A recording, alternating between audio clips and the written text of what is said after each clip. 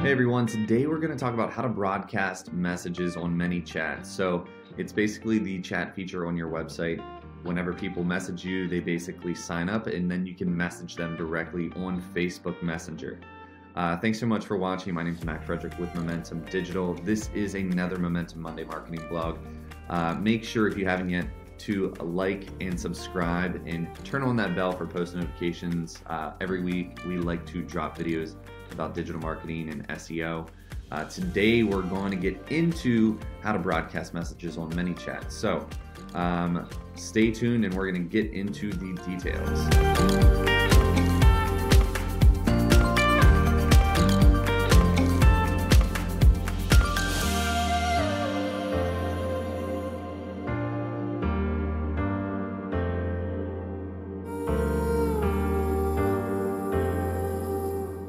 All right, first thing you want to do is sign up for ManyChat. If you're not sure how, you could just go to Google and type in ManyChat.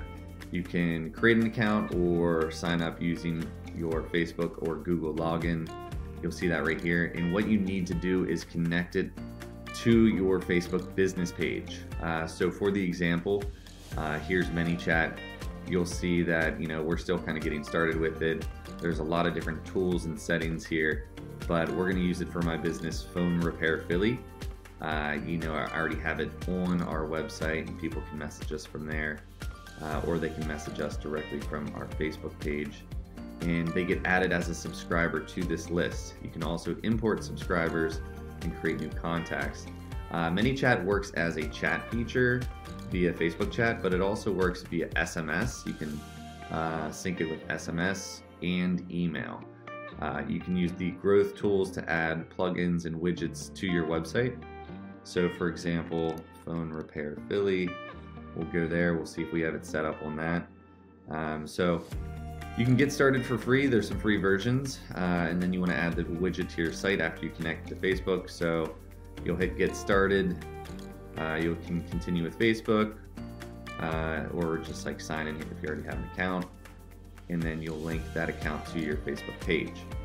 Once you link it to your page, you're going to want to make sure um, you set up a growth channel, which is a widget you can add on your website or Facebook or run it on ads. And then you can set up automation messages, which is really cool. So over here, you can see here's our website. I have a little mini ManyChat plugin with the message us icon right here, uh, which would be the, the uh, which one? The website Facebook chat. And you can see how many people are clicking and converting. Um, you know, there's 148 opt-ins out of 24,000. So most people come to our website and they click us or call us. A lot of people aren't messaging. You know, it's a really tiny button here, but some people do.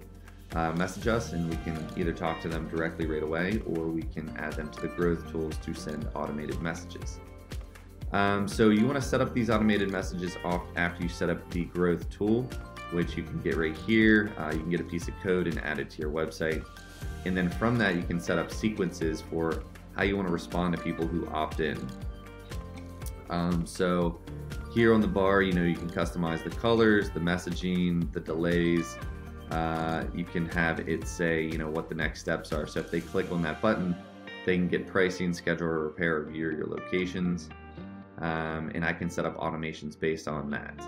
So, you know, I would hit this button, it's going to pull me up to Messenger, and then from here, uh, if it logs me into Facebook, continue with Mac Frederick, this is where people are basically opting in, and then they'll see that direct message to Phone Repair Philly. It's going to pull up a chat. Sorry, my website's a little slow right now. And right now I have it set to just give them these options. So it tells them what we have in stock and then they can call us. Uh, the first message though is really $20 off phone repairs. This is the first thing they would get. I've already opted in before. So now I just have a default message, keep following up. Um, thanks for getting in touch. Please send us any questions you might have. $20 off phone repairs. And then they could choose the buttons here where it's pricing, location, or scheduling. So they could click one of these options. So that's what it looks like once they opt in. Um, but how do we broadcast and send messages? So right here you have the growth tools. It shows how many people opted in. So you should have a list of people. There's also a live chat feature if there's a bunch of people on your website. Uh, you might be able to live chat with them. If they're on Facebook chat right now, it means they've opted in and I could message them directly right now. Um, this is just a sample list. Uh, but what we're wanna, going to want to do is go down to broadcasting. So this is where we send messages. Now I've reached the limit of a thousand contacts on the free account. So you can have a free account or you can upgrade to pro to broadcast messages to everybody. You'll see here in the last message I sent out back in February, it's been a while. Um, you know, I could copy that or do a new broadcast or broadcast from like a flow that I want people to take as to giving them options on what to click and everything. Um, shows you how many people read it, how many people clicked it, so on and so forth. So what we can do is we're gonna have to upgrade if we wanna send to everybody. See, it says please upgrade to Pro. So if you have over a thousand contacts, you need to upgrade to Pro. I'll do that right now. I'm gonna pause my screen. All right, the page connection and upgrade to Pro was successful. I'll put a link in the YouTube video and the blog if you're looking for how to upgrade Pro and maybe getting a promo or discount. Um, so you can do new broadcast and you can choose chat messenger, uh, SMS where you need to connect an SMS sequence like Twilio, email where if people are opting in with emails you can do that, or multiple channels all at once. This one's probably the best hit, but you need to have all their information. So you could have a form on your website from ManyChat that gets name, number, email, and you could message them like that, just like you would with, you know, another marketing platform like a HubSpot or something.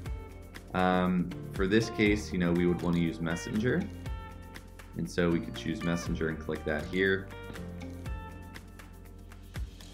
From here, what we're going to do is we want to choose the first step is to send a message and it is going to be we're going to choose a post purchase update which means they've opted in uh, and we're telling Facebook that they're a customer. And we're going to ask them if they are looking to sell a device. You can take them to a website link super easy. You can put in additional options. Uh, you can choose all sorts of different button types call buttons messaging features all that and then from there, you can even add a next step if you want them to do something else. Or like have another button that says learn more and then a new pop up. They'll get another message. You can really sequence this out so that they can watch videos, download files.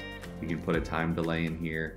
Uh, you can add another message, things of that nature. So I could add a delay here, typing three seconds.